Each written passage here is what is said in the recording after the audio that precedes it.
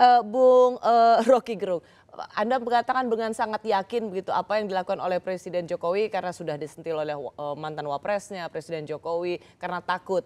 Anda yakin banget emang Presiden Jokowi takut dengan uh, sindiran mereka? Ya itu karena itu dia suruh supaya revisi undang-undang itu. Hmm. Kan kan kalau kita lihat sekuensinya begitu. Kalau dari awal misalnya eh, presiden bilang revisi ya udah itu artinya dia takut pada rakyat. Sekarang dia cuma takut pada SBY dan takut pada Jokowi. Karena setelah pada JK maksudnya. Iya, sorry pada JK. Itu itu terbuka dilihat orang. Terlalu dekat jaraknya tuh antara kritik SBY dan JK pada pada Pak Jokowi dan permintaan Pak Jokowi.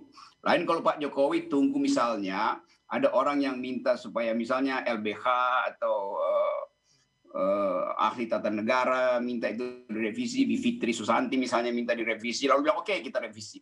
Maka terlihat presiden mengerti demokrasi dan menghargai rakyat. Ini dia cuma menghargai kritik atau uh, tuntutan dari uh, Presiden SBY dan Wakil Presiden JK itu itu juga diskriminatif kan. Sebenarnya kalau tapi kalau kalau kalau kalau lihat sequence-nya si uh, Bung Rocky uh, presiden dulu yang bilang silakan kritik baru ada Pak JK. Jadi kalau bilang karena takut sama uh, Pak JK secara sekuensi nggak ketemu karena Pak Pak iya, Presiden iya, dulu yang mengatakan so, so, baru kemudian ditanggapi oleh Pak JK. Headline-nya begitu, tapi sinyal-sinyal dari SBY dan JK itu seminggu sebelumnya udah jalan gitu. Jadi begitu urutan peristiwanya.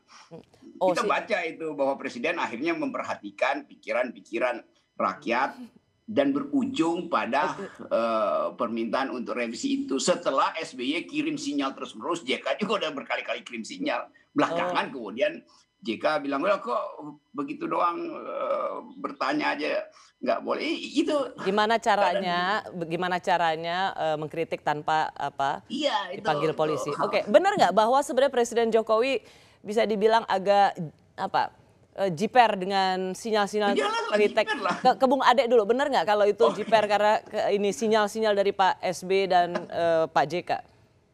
Uh, itu Silakan, agak ya itu agak luar biasa mengejutkan ya analisis macam itu buat saya sih. Kenapa kenapa terkejut?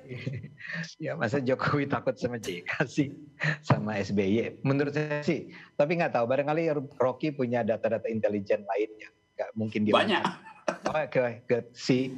Jadi saya nggak mau komentar sesuatu yang saya tapi tahu, tapi lucu loh Bung Rocky loh. Masa orang dianggap takut sama Pak dianggap agak jiper sama Pak SB.